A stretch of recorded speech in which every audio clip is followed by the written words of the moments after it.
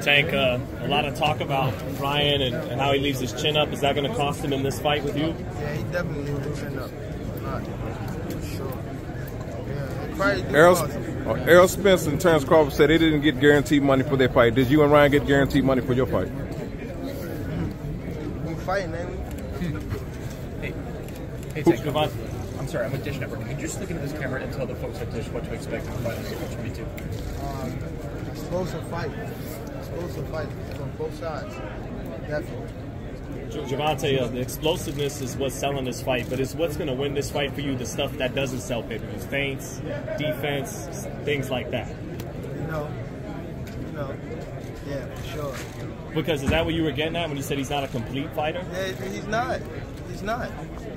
Everybody that watch boxing knows he's not a complete fighter. So to piggyback on that, who would you say? Confidence level do you feel that you can knock out any particular round? It depends. I can't say right now, but um, I, I believe so. Who would, you, who would you say had more power and speed between you and Ryan? If you was unbiased, I mean, you're gonna be biased to yourself. That's natural, but more speed and power. Yeah. For sure, I'm gonna say me. Tank, do you see do you see yourself as a legacy fight after this? Well, this is one of this fight a legacy fight that's gonna elevate you to the next level. Yeah, I, I think so for sure. Yeah, that's that's what like type of fight it is. It's not just no regular fight. This really is a mega fight, right. and we're fighting at a young age. So, so you you're not sleeping on him, correct? Because nah. a lot of people are calling him a social media fighter nah, and saying not, he's nah. not that fighter. Yeah. You see what he really is, correct? Yeah, yeah I'm not sleeping on him. You know, Gervonta, you know, I'm sure you believe you can knock him out at any weight. So with that said, why, why the rehydration clause? Is it the art of war? You know, again, why? why? I mean, that's what happened when you're the A side. Dan should have came in as 126. Is that taking advantage of his anxiousness to get that, that money in that big fight? You know? No, I just you gotta be smart. You can't just be a fighter, bro. That's what. That's what they want you to be. They want you to just. Uh, take the fight at 150 and take the fight at 160 and this guy walking around at 170, 180. That don't make sense. Does that if you if you, you beat Ryan, what something to say? Does that give them something to say yeah, though? For sure. But does that give them something to say yeah. where they wouldn't? Yeah. I mean, what the people? Yeah, for sure. If you if you beat Ryan, where would you place yourself on the pound for pound list? I don't really pay attention to the pound for pound list because it's just opinion. I really don't. I don't. I don't pay attention to that. What would you say? Another question from Dish. Absolutely. So you have so many celebrity fans, Tank. Uh, have you ever been starstruck by any of your own fans? No. no. Nah. Who are you looking forward to seeing in the front row? Everybody. Everybody. Everybody. What were you saying to uh, Bernard yesterday in New York City? I was just telling him that he know that this, his guy not not like that. He know that. He know that. What would you say to people that say boxing's dead? It's not. I don't think boxing dead. It's just a lot of clowns that's, that's entering boxing. That's it. Boxing is not dead. We got so much. I mean, uh, we got Benavidez and um, Plant coming up. There's a lot of great fights coming up. Boxing definitely did. We got um, Fulton and um, what's, what's the other guy? Yeah, Uwe. There's a lot of fights coming up. Boxing definitely ain't dead. What would you say? What would you say is your best? Uh, what would you say is Ryan's best attribute that would would cause or pose a threat, any kind of threat to you? left hook. That's all he had. Left hook. Are you gonna try to like draw that left hook out early in the fight to kind of figure it out, see the angle like that, bait it out of him early? I mean, he. That's all. He feed off his left hook. Everything is off the left hook, or his brick hand, his brick hand, left hook, or the left hook Or left hook to the body. That's all he got. It has to be special for the face of boxing, Canelo, to be rooting for you and, you know, essentially possibly be passing you the torch. How do you feel about that? Uh, he must have seen some, some uh, things uh, and Cat with Ryan. You know what I mean? So, yes, sir. So you didn't see that, that, same fire in his eyes that he said he saw in your eyes? In his face? I mean, you gotta think of well today. You gotta think about he's home. He's in front of his people. He's going to look like that. He's going to be hyped like that.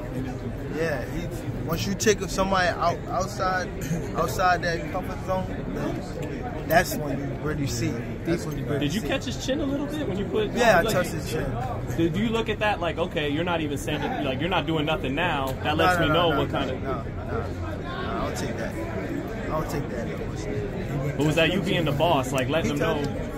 Me. Huh? Was that you letting them know ahead of time what it's gonna be? Nah, I was just touching it to see if it was soft. And his chin is definitely soft. And that's a fact. We're gonna move down a little bit, guys. That's a fact. Thank you, Gervonta. Next game. Gervonta, you've been in fights like this before. This is probably his biggest fight to date. What do you think that's going to be like for him come fight? Uh, it's gonna be different for him. He ain't never, he ain't never, he ain't, he ain't been, he ain't been in a big fight like this. How do you think that's going to affect him? I don't know. You talk about mental health and things like that. This, this bring that, this bring all that out. Yeah.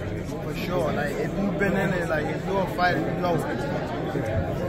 It take a lot to be able to stay focused and walk that walk. You know what I mean? And actually fight in front of that crowd. He ain't really been in front of no big crowd like this. You know what I mean? So And this is the hurt it might trigger. It might trigger. You know what I mean? So I don't know. Do you think that he has the experience that you've had in the ring when you guys compare records? No, I don't think so. Not really. So he, he really hasn't fought anybody except maybe Campbell, according to you. And how does how does that play into the, the fight? He fought Campbell. He fought uh, Tuna. That's about it. I mean, this, this is this is this a test for him. This is a test for him, also a test for me. But yeah, this is definitely a test for him. How is it a test for you? He's he's. I feel though he's, he's a good fighter. He's just not a complete fighter. You know what I mean? I don't want to take nothing away from him, but it's a, it's, he's not a slouch. I want to say that he's not a slouch. He's not someone you can look over and things like that. You know what I mean? So definitely going in there with stay focused, stay sharp, and focus on the task. And just like somebody mentioned earlier, uh, what do you feel when Canelo says that if there's one guy that he likes to watch fight and that everybody should see fight, it's Gervonta Davis?